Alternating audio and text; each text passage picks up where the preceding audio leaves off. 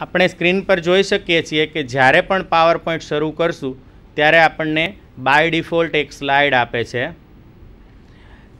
આ સ્લાઇડને આપણે title slide કહીએ છીએ. કોઈપણ પાવર પોઈન્ટ સ્લાઇડમાં પ્રથમ સ્લાઇડ ટાઇટલ સ્લાઇડ હોય છે. તમે જોઈ શકો છો કે આ ડોટેડ લાઇન છે, એ પ્લેસ હોલ્ડર બતાવે છે. જેના પર હું ક્લિક કરવાથી કંઈ પણ ટાઇટલ આપી શકું છું. જેમ કે મારે બાબા સાહેબ આંબેડકર ઓપન યુનિવર્સિટીના કોર્સિસ વિશે માહિતી આપવાનું પ્રેઝન્ટેશન બનાવવું હશે, તો મારું ટાઇટલ થશે બીએઓયુ કોર્સ. સબ ટાઇટલની અંદર તમે તમારા પ્રેઝન્ટેશનનો ટોપિક અથવા તો પ્રેઝન્ટ કરવાવાળાનું નામ લખી શકો છો.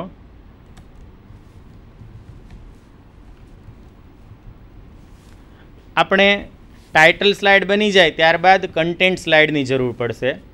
તો આપણે કીધું એમ, હોમ ટેબમાં ન્યૂ સ્લાઇડ બટન આવેલું છે.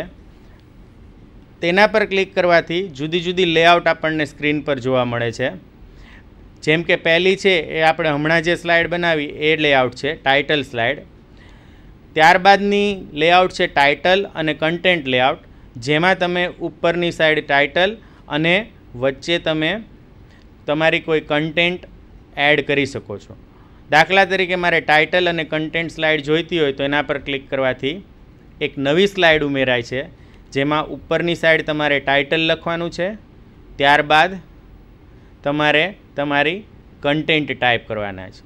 દાખલા તરીકે હું લખું છું સર્ટિફિકેટ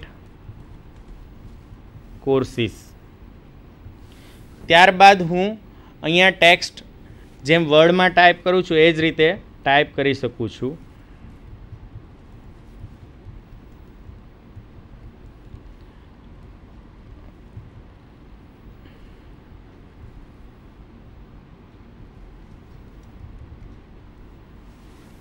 આમ, તમે જોઈ શકો છો કે આપોઆપ બુલેટેડ લિસ્ટ બનતું જાય છે.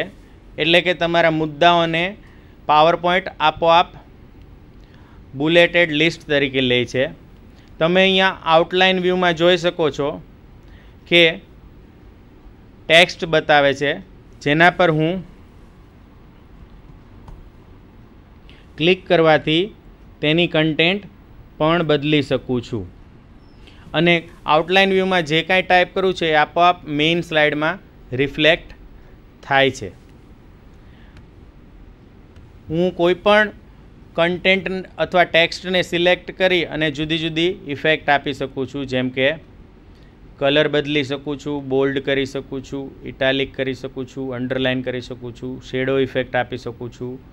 સ્ટ્રાઇક થ્રુ અને ફોન્ટની સાઇઝ પણ વધારે ઓછી કરી શકું છું. તમારે ટેક્સ્ટને કોપી કરવી હોય તો વર્ડ અને એક્સેલની જેમ કંટ્રોલ સી અને જ્યાં જોઈતું હોય ત્યાં કંટ્રોલ વી આપી અને કોપી પેસ્ટ કરી શકો છો. તમારે ના જોઈતું હોય તો બેક સ્પેસ અથવા તો ડિલીટ કીની મદદથી તમે તમારી કન્ટેન્ટને ડિલીટ પણ કરી શકો છો.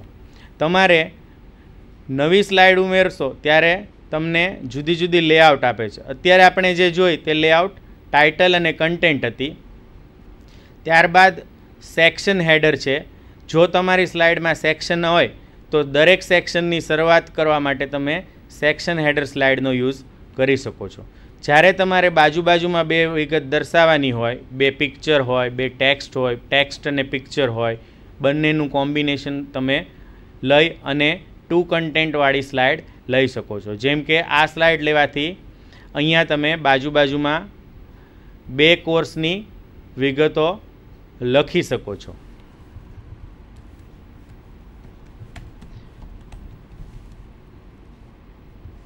જેમ કે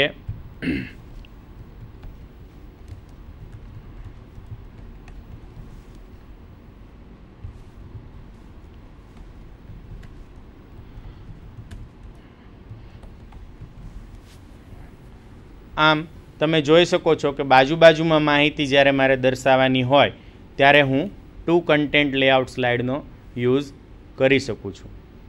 એવી રીતે જ્યારે મારે કમ્પેરિઝન કરવાની હોય ત્યારે હું કમ્પેરિઝન લેઆઉટનો યુઝ કરી શકું છું. એમાં હું બે અલગ અલગ વસ્તુની કમ્પેરિઝન કરી શકું છું.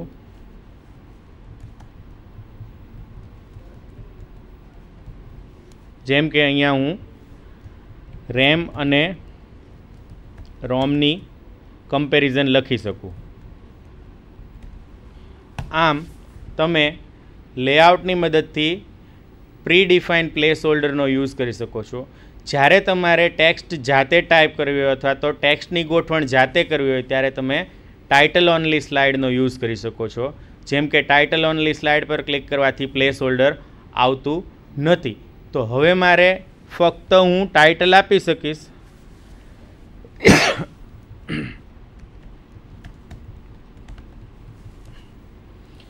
પરંતુ હવે મને પ્લેસ હોલ્ડર જાતે ઉમેરવું હોય તો હું ઇન્સર્ટમાં જઈ અને ટેક્સ્ટ બોક્સનો યુઝ કરી શકું છું.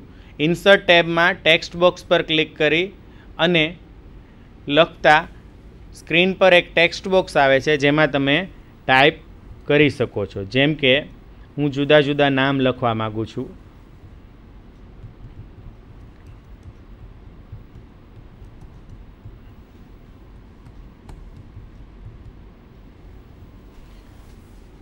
તમે ટેક્સ્ટ બોક્સની સાઇઝ પણ ચેન્જ કરી શકો છો. હવે મારે બુલેટેડ લિસ્ટ જાતે આપવું હશે, તો હું અહીંયા ક્લિક કરી અને આપી શકીશ.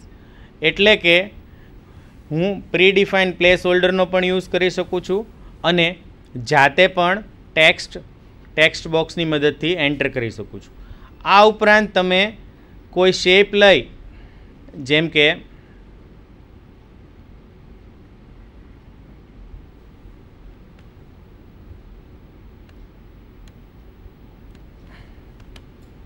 રાઇટ ક્લિક કરી અને એડિટ ટેક્સ સ્ટ્રીમ મદદથી પણ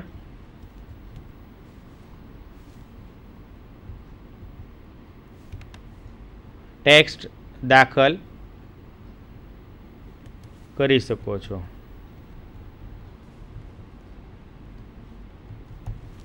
આમ, ટેક્સ્ટ દાખલ કરવા માટે તમે પ્લેસ હોલ્ડરનો યુઝ કરી શકો છો.